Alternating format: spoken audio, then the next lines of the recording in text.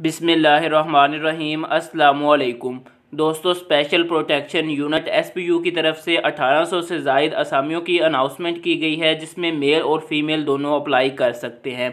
इसमें police constable और lady police constable की असामियाँ हैं।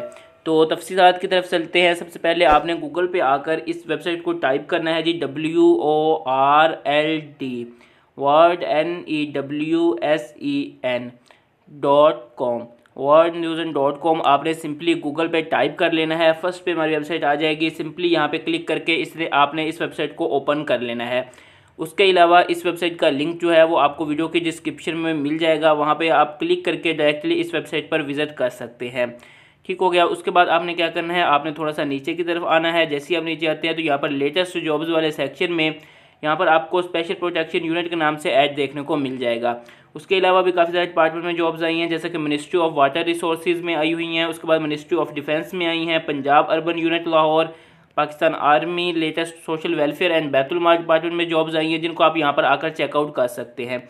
काफ़ी सारे डिपार्टमेंट में यहाँ पर जॉब्स आई हुई हैं, ठीक है? अब आप हम ऊपर जाते हैं, आपने सिंपली यहाँ पर आने के बाद स्पेशल प्रोटेक्शन यूनिट वाले को यहाँ पर सिंपली क्लिक कर लेना है और इसको ओपन कर लेना है, ठीक हो गया?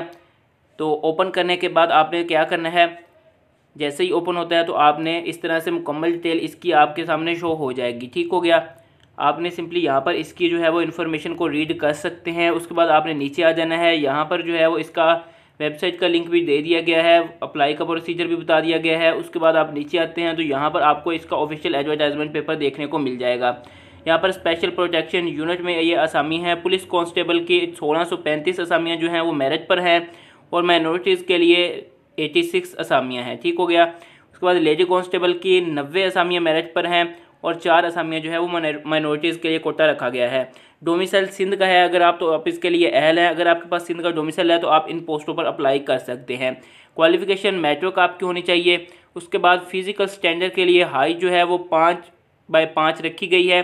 पुलिस कांस्टेबल के लिए चेस्ट जो है वो तैतीस इंच रखी गई है। एक्सपेंशन उसकी वन पॉइंट फाइव इंच होनी चाहिए, ठीक हो गया। उसके बाद रनिंग जो है वो आपको सोलह सौ मीटर्स इन सेवन मिनट ठीक हो गया? आपको सा, सात मिनट में सोलह सौ मीटर्स करना पड़ेंगे। उसके बाद फीमेल्स के लिए जो है वो हाइट पाँच फुट रखी गई है मिनिमम उसके बाद जो है वॉकिंग आपको 800 मीटर्स जो है वो 14 मिनट में तय करना पड़ेगा फीमेल्स के लिए। एज लिमिट की बात करें तो 18 से 28 साल एज लिमिट है। इसका अप्लाई जो है वो पीटीएस के थ्रू होगा। पीटीएस पर आपको एप्लीकेशन प्रोसेसिंग फ़ीस दो सौ नब्बे जमा करवाना पड़ेगी। उसके अलावा आप जो है पचास रुपये आपको जो है वो डिपॉजिट अलग से करवाना पड़ेगी। ठीक हो गया? उसके बाद यहाँ पर कुछ जनरल से जो है वो इम्पोर्टेंट नोट्स में बता दिया गया है। आप सिंपली यहाँ पर इसको रीड कर सकते हैं। और यहाँ पर उसके बाद आपने अप्लाई वाले प्रोसीजर में आ जाना है। अप्लाई आपने किस तरह से करना है, आप डाउनलोड करेंगे एप्लीकेशन फॉर्म और उसकी डिपॉजिट स्लिप पीटीएस की ऑफिशियल वेबसाइट से। उसके बाद आपने उसको फिलअप करना है, उसको सबमिट करवा देना है। उसका चलान फॉर्म जो है वो आप HPL और UBL में जो है वो जमा करवा सकते हैं। ठीक हो गया? उसके बाद आपने एप्लीकेशन फॉर्म के साथ जो है वो पेड कॉपीज़ लगानी है पीटीएस डिपॉजिट स्लिप की, और इसको सबमिट करवा देना है। यहाँ पर जस्ट मेंशन है P T S headquarter third floor Adeel plaza Fazal Haq road blue area Islamabad इस जगह पर आपने सबमिट करवा देना है। लास्ट डेट तीस छः दो हज़ार इक्कीस है। तीस जून तक आप अप्लाई कर सकते हैं। उसके बाद आपने इस एप्लीकेशन के फॉर्म के साथ कोई भी एजुकेशनल सर्टिफिकेट जो है वो अटैच नहीं करना। अच्छा अब आप एप्लीकेशन फॉर्म कहाँ से डाउनलोड करेंगे, उसके लिए आपने सिंपली यहाँ पर वेबसाइट लिंक दे दिया गया है। सिंपली आप यहाँ पर क्लिक करते हैं। तो कुछ इस तरह से आपके सामने जो है ये ओपन हो जाएगी।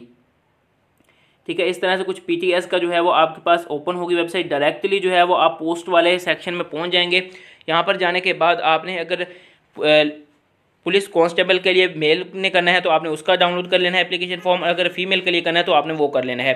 सिंपली इस तरह से आएँगे, आपने यहाँ पर व्यू डिटेल पे क्लिक कर लेना है। ठीक है, जैसे ही आप क्लिक करते हैं तो नेक्स्ट पेज पर आपके सामने इसके दोनों एप्लीकेशन फॉर्म आ जाएँगे, जिस पर आपने अप्लाई करना है, उसको आपने सिंपली ओपन कर लेना है और उस पर आपने अप्लाई कर लेना है। जैसे कि मैं एप्लीकेशन फॉर्म जो है वो लेडी पुलिस कांस्टेबल वाला फ़र्स्ट ऊपर वाला करेंगे और जो है वो पुलिस कांस्टेबल मतलब जो मेल है वो नीचे वाला करेंगे। ठीक हो गया? सिंपली मैं यहाँ पे व्यू एंड अप्लाई पे क्लिक करता हूँ तो इसका जो है वो एप्लीकेशन फॉर्म मेरे सामने जो है वो डाउनलोड होना स्टार्ट हो जाएगा। ठीक है? मैं अब यहाँ से इसे डाउनलोड कर लेता हूँ। डाउनलोड होने के बाद मैं इसको ओपन कर लेता हूँ। ये जी मैं इसको ओपन कर लेता हूँ एप्लीकेशन फॉर्म को। आपने सिंपली इसका प्रिंट लेने लेना है। प्रिंट लेने के बाद आपको सिंपल सी चीज़ें हैं। आपने यहाँ पर इसको फिलअप करना है और आपने सबमिट करवा देना है। ठीक हो गया।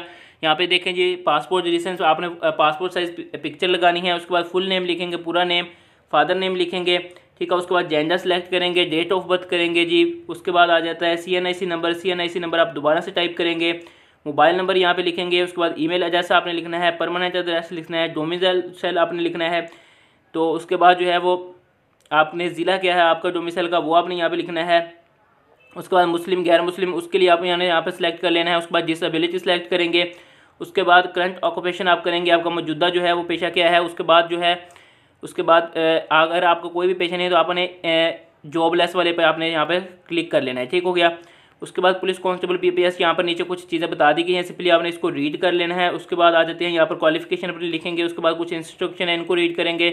उसके बाद पाकिस्तान टेस्टिंग सर्विस को आपने चेक कर देना है, यहाँ पे आप अपना नेम लिखेंगे, उसके बाद फादर नेम लिखेंगे, उसके बाद आ जाता है नीचे आपने डेट लिखनी है, उसके बाद हम अपने अंगूठा लगाना है कैंडिडेट सिग्नेचर करेंगे, उसके बाद नीचे आ जाते हैं तो यहाँ पर इनका जो है वो चलान फॉर्म आ जाएगा। इसको आपने सिंपली फिलअप करना है, ये बैंक में आपने जमा करवा देना है, ठीक है? उसके बाद इसकी एक कॉपी जो है वो बैंक वाले रख लेंगे और एक आपको देंगे, उसको आपने एप्लीकेशन फॉर्म के साथ अटैच करना है और इसको आपने सबमिट करवा देना है।